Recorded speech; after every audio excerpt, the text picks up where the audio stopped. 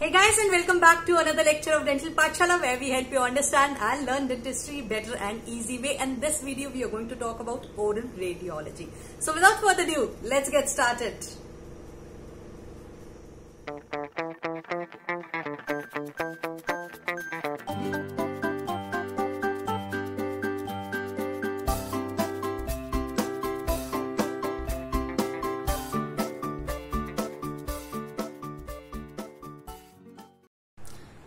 Welcome back to another lecture. This video is a continuation video of radiation effects on the oral tissue. Last video we have covered on the general tissues how it affects the cell division how it affects the nucleus how it affects the mitosis all these things and the different type of cells. Now it is the time that we talk about specific oral tissues. So the most common carcinoma we know that it is the squamous cell carcinoma what we give to treat it in case of large lesions? We give the see radiotherapy cannot be given to all of the cancers. So specifically we need to see that if the lesion is malignant lesion or it is the radiosensitive cells are involved. Because radio now we know that in the previous video we have studied that radiosensitive cells will be affected with the radiation therapy and radio resistant cells will not get affected with the radiation therapy. So all the basal cells are the radiosensitive cells which are the most radiosensitive cells. That is the use that we have studied the last part. So in case of advanced lesion, in case of deeply invasive lesion, which we cannot treat it via surgical approach. For example, suppose if tumor is present at the nasopharynx or if the tonsil is involved or if the tumor is involving the soft palate, hypopharynx, so all these areas wherein we cannot go surgical approach, we can do the radiation therapy. Like if carcinoma is present in the alveolar ridge or if carcinoma is present in the salivary gland, then we can easily do the surgical excision. So there are again now we know that to do the radiation therapy. Now second thing is that what should be the dose of doing the radiation therapy. Now uh, how we should give the radiation therapy. So we have talked about in the dose rate. If you remember last video we have talked about the dose rate. So we have talked that slower rate is better than compared to single large dose.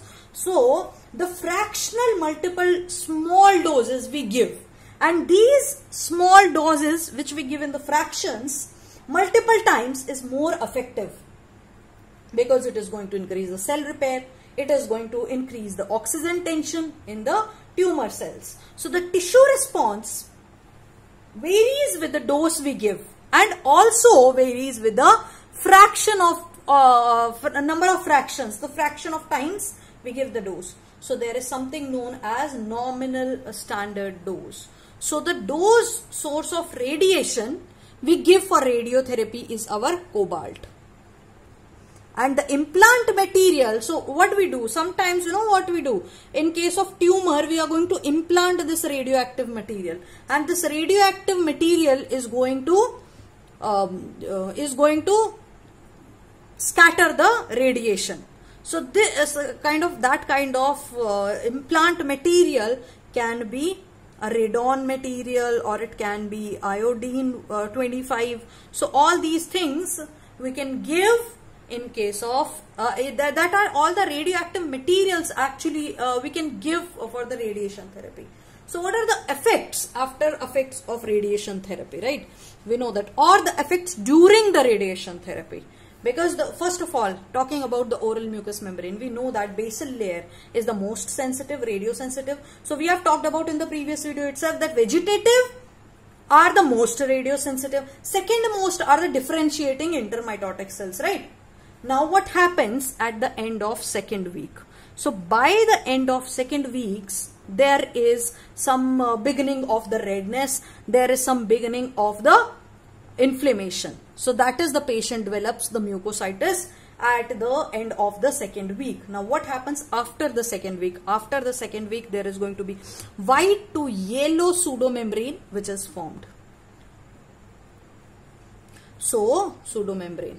Now what happens by the end of therapy? So when the radiation therapy is ended then the patient has got mucositis is now severe. There is maximum discomfort so patient has to maintain a good oral hygiene. Patient, you, you know what happens that by the end of the radiation therapy, usually the patient are unable to eat. So they have undergone so much of disaster, so much of stress after the radiation therapy, even though they survive from the cancer.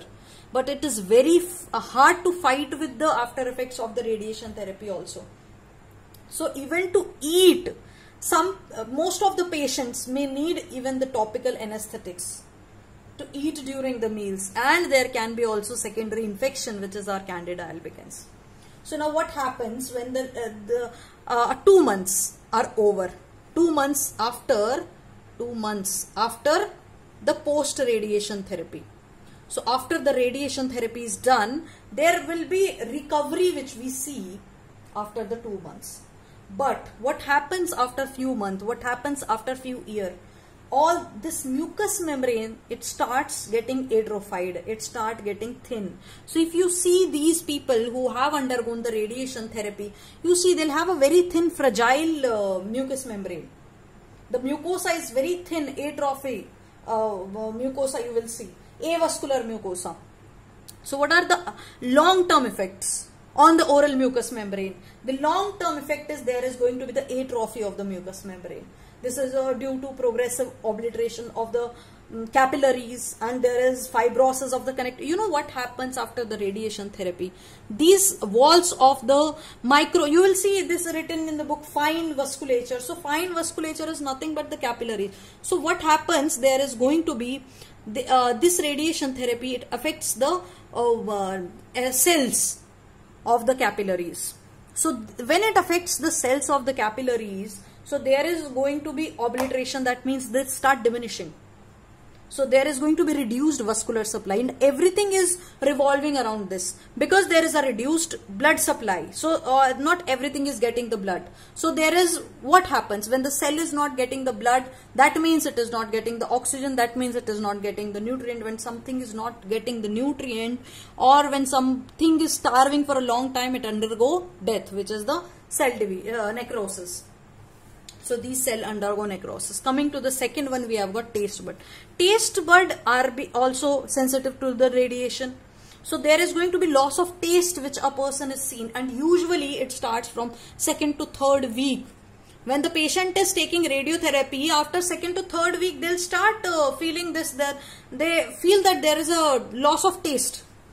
And especially what happens if the anterior one third of the tongue is radiated then we see that patient has lost the sensation of the salt. There is going to be altered salt and sweet sensation. And if the patient is irradiated, posteriorly two-third of the tongue is irradiated, then usually there is going to be taste and sensation of bitter and acid flavors. So what happens? Why there is a loss of taste sensation? Because the taste bud are decreased in the number after the radiation therapy. It can decrease up to 1000 to 10,000 taste bud can decrease. Also we know that there is decrease in the saliva. Why decrease in the saliva? Because of the salivary gland because of the parenchymal cells of this we will talk about because of the cells of the salivary gland. Because of that there is less secretion. When there is a less secretion there is less saliva. When there is less saliva caries happen. Taste sensation won't be there. Because of the saliva pH will increase. So so many things because of the saliva. Basically oral tissues we see that there is because of the loss of saliva we see because of the xerostomia we see all these things. Also but the taste sensation will reoccur. So the, the recovery will occur 60 to 120 days after the radiation therapy is over. Then the taste sensation start coming back. So coming to the third one is our salivary gland. So what do we see in case of salivary gland? We know that the uh, ductal cell, acinar cells, they require, they, they are not that radio sensitive. They are actually on the other hand, they are radio resistant. But there are other things also. You know what happens? The salivary gland actually at times get exposed unavoidably. And mostly we see that there are changes in the parotid gland. Parotid gland. Second most common is the submandibular or the sublingual gland. Now the reason is unknown. So the parenchymal component of the salivary gland is the radiosensitive component what do we see? These serous acinar cells, there is going to be the uh, inflammatory changes. Initially, we see that acute inflammation and later on stages, we see that there is chronic inflammation. So immediately after exposure, we are going to see the acute inflammatory reaction in case of serous acinar cells and also we see there is going to be increase in the serum amylase. So this serum amylase will start appearing after the suppose uh, now that we are I took the radiation therapy. So after 3 hours of radiation therapy, there will be increase in the salivary amylase. Maximum salivary amylase will be seen at 12 to 24 hours. That means within the first day. After that, it start decreasing. It will get normal after the 96 hours. So with the time, this acute inflammatory reaction is converted to chronic inflammatory reaction. So there is going to be progressive fibrosis, adiposis. There is going to be, we know that there is going to be loss in the uh, fine vasculature. There is going to be loss in the capillaries. That is why I told you obliteration of the capillaries happen. When there is no blood supply, there is nothing. The cells start dying. So there is going to be parenchymal degeneration.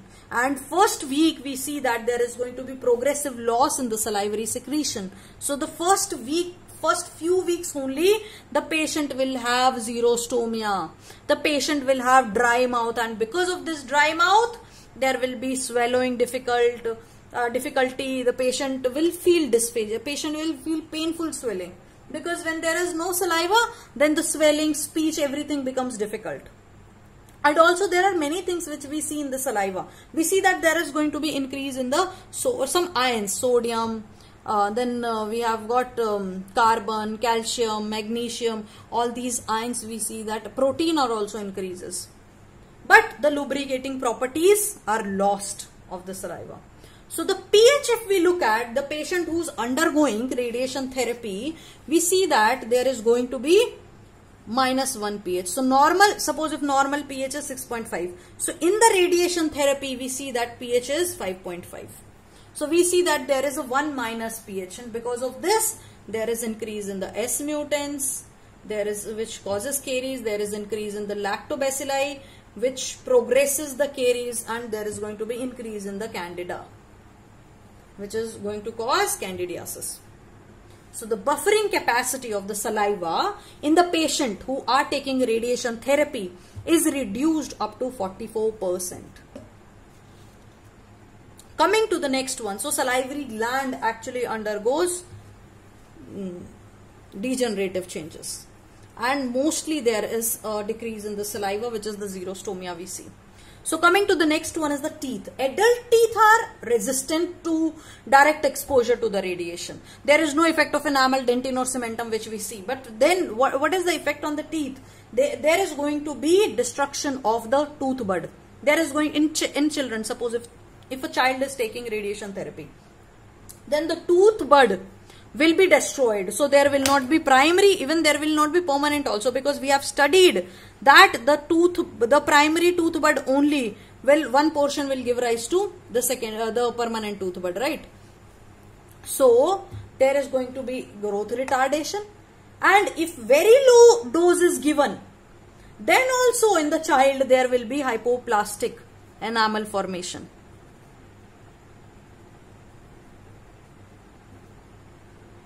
So coming to the next one, caries. You know what radiation caries are equal to? Rampant caries. Rampant caries we have already studied in the pedo. So rampant caries are going to destroy all of the teeth. And the reason is decreased salivary flow, decreased pH, decreased viscosity. So the debris, it start accumulating quickly because there is no saliva to flush out the debris, right? So what happens? We see that there are three kind of carious lesion. So first one, are affecting the cementum and dentine. So when it is affecting the cementum and dentine, that means there are going to be cervical caries. You know what? How cervical caries progresses as the cervical area. So they, it start it start at one uh, point and it is going to go around the whole teeth. Circumferentially it is going to involve. So there will be just loss of the crown. And this is how the radiation eats up the teeth because it causes caries. So that will progress into the circumference, there will be loss of crown. Second one is the, there is going to be generalized superficial lesions. So these superficial lesions are present on the buccal surface, lingual surface, um, occlusal surface, palatal surface, incisal surface, all the surface they will start spreading. Third one is the dark pigmentation. Now what happens there is going to be dark pigmentation of the entire crown and the incisal edges we see that there are worn out incisal edges. So what do we do to spread this fastest caries rate? like the rampant caries, these radiation caries. How do we stop progressing the radiation caries? We give daily, these people who are taking radiation therapy, we give daily 1%, uh, 1% neutral sodium fluoride, which is in the topical form. And this is how we prevent this radiation caries, which is as destructive as the rampant caries. So what, are, what is the effect on the bone? As we know that mandible because it is a compact bone because it is a dense bone so what happens? There already it has got limited blood supply. Now what happens when the radiation is coming onto the mandible? Already it has got limited vascular supply. So what will happen whatever the blood is there that will also die so that will cause all the osteoblast osteo osteoclast cell die and this is the reason that the uh, bone undergo osteoradionecrosis. So we see that the osteum, endosteum, it get atrophied. So there is lack of osteoblastic cell, there is lack of osteoclastic cell. We see that the marrow tissues are hypotoxic, are hypoxic. I'm sorry, there is no oxygen because uh, the marrow tissue, why there no oxygen? There is no blood supply. So that also undergo hypocellular, hypocellular changes, decrease in the cell also. So this uh, that under that will happen. What will happen? Then the bone will undergo necrosis. Which which necrosis? Osteo bone. Osteo means bone. Radio means radiation therapy. Necrosis means dying. So these bone cells they will start dying due to the radiation therapy, which is with the high doses of the radiation therapy. Mostly we see in the mandible. So the bone becomes hypovascular, hypocellular, hypomineralized, everything goes hypo. Because there is nothing, decreased blood supply. Because of the decreased blood supply, all these things happen. So what do we do? And uh, you know what happens when we are going to extract the teeth after the radiation therapy, you know what happens? when if we are extracting the teeth after the radiation therapy so we know that the mucous membrane breaks and the infection enters the bone. Now when the infection enters the bone it leaves a non-healing wound which will develop into the osteoradionecrosis. Then how are we going to prevent it? We do not want our patient to go into osteoradionecrosis. So being a dentist what do we do? We are going to extract the tooth which have got poor prognosis before the radiation therapy itself and LA we are going to give the low epinephrine and lidocaine we try to avoid giving. So how do we treat it? We give the hyperbaric oxygen therapy so that we give the oxygen therapy. Also we do the mucocutaneous flap. So sometimes we take the fifth rib. Coming to the last one we have got on the muscle. So basically what happens there is inflammation, fibrosis that will result in the, into the contracture of the muscle. So when the, there is a contracture of the muscle, so whenever there is a contracture of the muscle, so we know that the whenever there is a contracture, the patient, suppose the contracture of the masseter muscle, masseter and the pterygoid are the most commonly involved muscle. So now what happens when there is a contracture of the muscle? The patient will not be able to open the mouth. There will be contracture, right? So there will be tightly closure of the mouth. So the patient will develop into trismus and usually it starts two months after the radiation therapy is over. So uh, what do we do it in this case? We are going to give the exercise uh, programs to the patient that are going to help in the opening of the mandible. Usually the muscles of mastication we are talking. So guys, these are the radiation effects on the oral tissues. I hope that you have enjoyed the video. Next video we are going to talk about acute radiation syndrome. So acute radiation syndrome wherein there is we are giving radiation to the whole body. Not just the oral tissues, we will talk about the whole body. I hope that you have enjoyed this video. So if you have enjoyed this video, give it a thumbs up also. You can comment in the comment section below. There is a link in the description box below to support me on Paytm as well as on PayPal to make free videos for you guys and to make free notes. So till then keep reading, keep learning, stay motivated. I'll see you soon in the next video.